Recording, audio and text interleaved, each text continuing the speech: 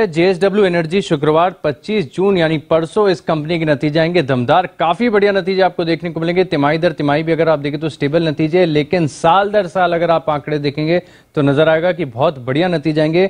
पिछले साल जो है कंपनी का मुनाफा केवल 108 करोड़ था। इस बार 150 करोड़ के पार जाएगा मुनाफा क्योंकि जिस, जिस प्रकार से इनके ओवरऑल सेगमेंट्स में देखें तो बढ़िया ग्रोथ देखने को मिली है। थर्मल हाइडल सोलार पावर में देखें तो मांग भी बढ़िया देखने को मिली है। वहाँ पर जो यूटिलाइजेशन है इसमें भी बढ़िया उछाल देखने को मिला है। इनके जो प्लांट्स है कर्नाटक महाराष्ट्र इनके पास भी अगर आप देखें तो वहाँ पर भी जो यूटिलाइजेशन है मांग है। वो पिछले साल के मुकाबले काफ़ी बढ़िया ग्रोथ देखने को मिली है, जिसके चलते अगर आप देखें तो मार्जिन में भी करीब करीब एक प्रतिशत का एक्सपांशन आपको देखने को मिलेगा। तैतीस प्रतिशत के बेटा मार्जिन हम एक्सपेक्ट कर रहे हैं। और इनका जो कामकाजी मुनाफा है, यहाँ पर भी अगर आप देखें तो बहुत ही शानदार आपको ग्रोथ नज़र आएगी।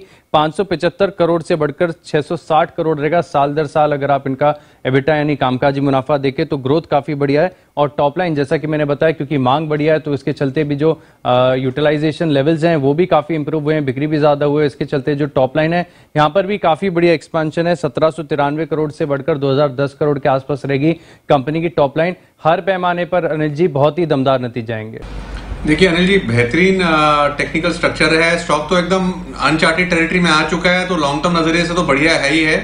और अगर एकदम शॉर्ट टर्म की बात करें तो यहाँ जो इंपॉर्टेंट लेवल है जिसपे नज़र रखनी है वो है 159 का।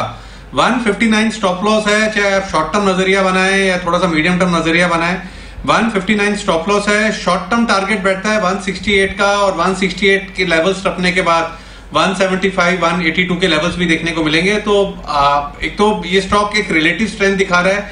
किसी भी निफ्टी की करेक्शन में पार्टिसिपेट नहीं कर रहा है। एक एक, एक स्ट्रेंथ है। 159 का स्टॉप लॉस है 168 पहला टारगेट है 168 के लेवल्स टूटते हैं तब 175, 182 टारगेट्स होंगे।